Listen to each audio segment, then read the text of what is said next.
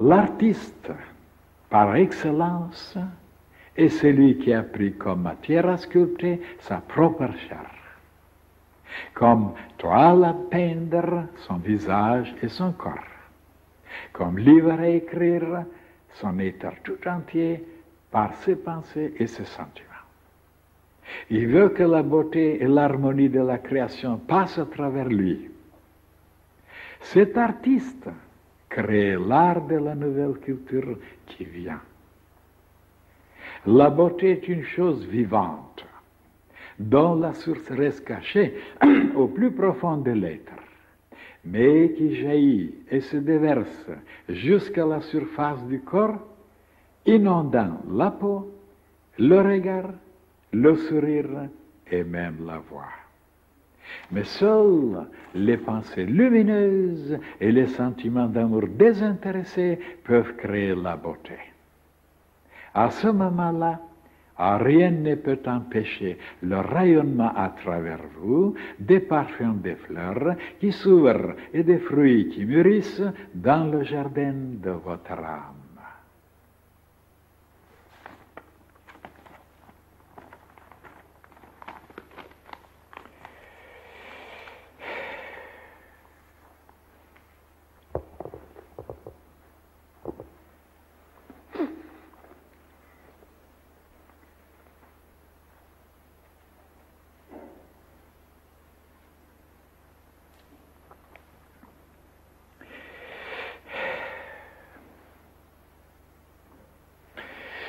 Cette page, mes chers frères et sœurs, n'est pas tout à fait nouvelle. Peut-être les phrases, les mots qui sont arrangés autrement, différemment, mais le sujet, le sujet, déjà, il est traité. Je vous ai déjà parlé dans le passé sur l'art. Comment les humains comprenaient l'art? Et comment ils le comprenaient, comment ils le pratiquaient et comment ils le réalisaient. Et même la valeur de ce qu'ils produisaient. Et de nouveau, aujourd'hui, je tâcherai de m'arrêter de nouveau sur ce sujet, mais je tâcherai aussi que ça soit un peu nouveau. Prenons maintenant les artistes. Les sculpteurs, les peintres, les musiciens, euh, les acteurs, n'est-ce pas, ainsi de suite, les danseurs, les écrivains.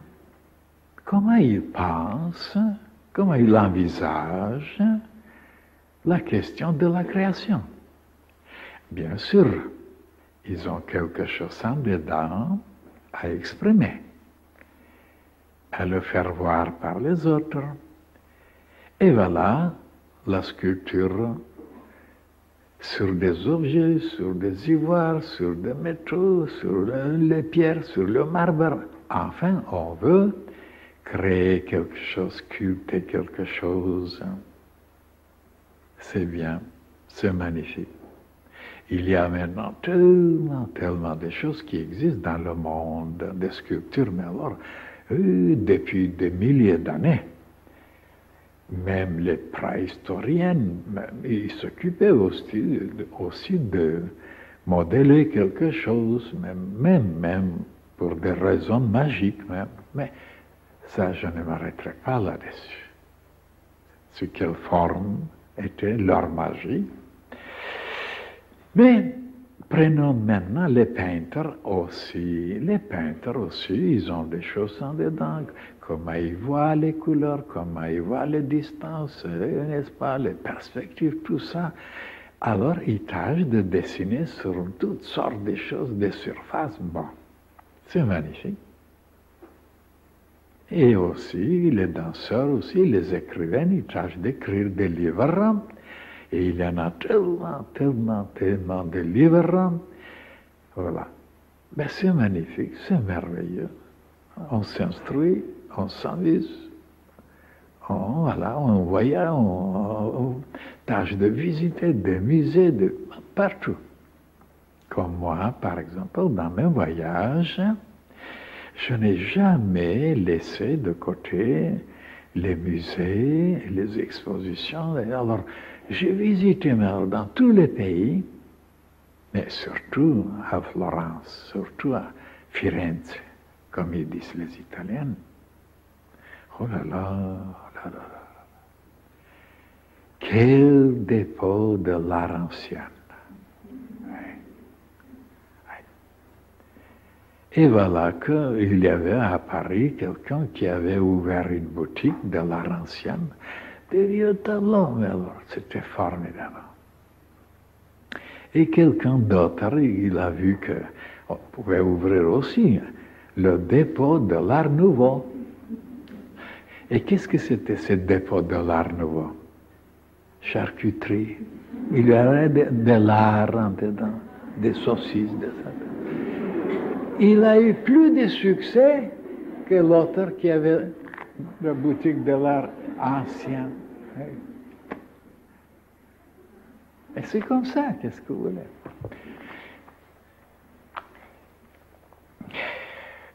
Et maintenant, je vous ai même parlé dans le passé ce qui peut arriver avec les tableaux, avec les sculptures, avec les livres, qu'il y a des inondations, il y a des, incendies, il y a des choses qui ne sont pas durables, ils peuvent brûler. Comme c'était arrivé aussi en Italie aussi, en Florence aussi.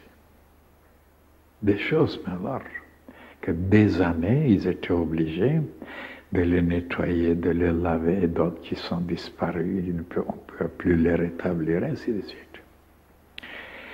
Et voilà que nous arrivons hein, et nous présentons d'autres euh, aspects de cette affaire-là. D'être artiste, bien sûr. Parce que qu'est-ce que c'est d'être artiste? Mais les gens ne savent pas qu'est-ce que c'est d'être artiste. Et même si on se pose la question, dans le passé, comme il y a la science aussi. Il y a la religion.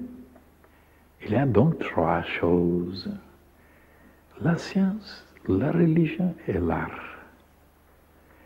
Et si on se pose la question maintenant, ces trois choses, qu'est-ce qu'ils expriment Avec quoi ils sont liés? Et comment ils ont existé dans le passé? Et voilà que j'ai expliqué que tout d'abord, l'enfant était un artiste. Il n'était pas un savant, il n'était pas religieux. Tout d'abord, il créait des châteaux, n'est-ce pas, avec le savon. Et il faisait des choses, il grévait, c'était artiste. Et même musicien. Il hurlait, il chantait les mauvaises langues disaient qu'il hurlait, il mais non, il chantait, il essayait de chanter le pauvre. Donc c'était un artiste, l'enfant. Et après, ben, il était danseur aussi. Il sautait, il, il voulait exprimer la danse. Et c'est après, après, après, la religion est arrivée. Il commence à adorer, à admirer une jolie fille. C'est le bon Dieu tout d'abord, c'est ça la religion. Parce qu'il est devenu un petit peu, hein, pas adulte encore, mais. Et après, oh là là, quand il lui arrive des choses et des choses, parce que dans la religion, il y a aussi des, choses, des, pierres d'achoppement, des, choses, des, grands mystères. On se casse la tête. Des mystères insolubles. Et après, il veut les résoudre, il veut comprendre, il devient scientifique. Voilà, la science vient après la philosophie.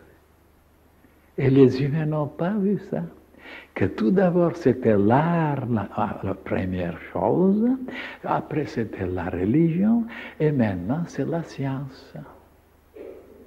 Et c'est vrai, regardez. Tout d'abord, la religion, oh là là, c'est elle qui dominait, qui commandait, qui organisait, qui punissait, qui brûlait les gens.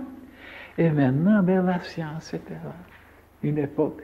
Et après, je peux vous prophétiser, d'après ce que je connais, de nouveau, l'art, la période artistique viendra, et même elle commence un petit peu. On commence un petit peu à laisser les savants de côté, et c'est les chanteurs, c'est les artistes. Ah, on est émerveillé de ce petit est Donc, ça prouve que le côté artistique va venir de nouveau.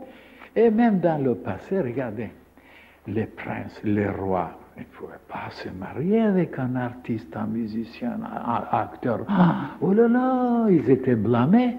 Et maintenant, tous se marient avec des artistes, des acteurs de cinéma. Alors, ma prophétie seulement, il y aura une petite différence. Le côté artistique ne sera plus objectif seulement en dehors de nous. Alors on dépense son temps, ses énergies, sa pensée, tout son, pour créer quelque chose en dehors de nous. Bon, il y a des génies, il y a des talents, bon, c'est très bien. Et oui, mais est-ce qu'on s'occupe un petit peu de sculpter son corps physique, de peindre un petit peu son visage? D'écrire son livre, ainsi de suite, et même de devenir musical, toute une symphonie. Non. Donc les humains ont pris un chemin de l'extérieur seulement, créé en dehors d'eux des vérités, des réalités, des trésors, des richesses. Ben, c'est bien pour une époque. Mais quand la science initiatique viendra s'installer, quand elle éveillera la conscience suprême, sublime, quand elle montrera ce qui est préférable, ce qui est plus précieux, ce qui est plus durable pendant l'éternité, et qu'on arrivera à posséder quelque chose qui lui appartiendra pour toujours, et non des choses qu'on abandonnera et qui, qui, ne sont jamais à nous, on peut nous le voler. Alors on comprendra, pour posséder quelque chose pendant l'éternité, ah, il faut s'occuper de se sculpter, de se modeler, de se façonner, de se peindre, de écrire son livre. Et voilà, dans l'avenir, ce sera la sixième race. On commencera enfin travailler sur soi-même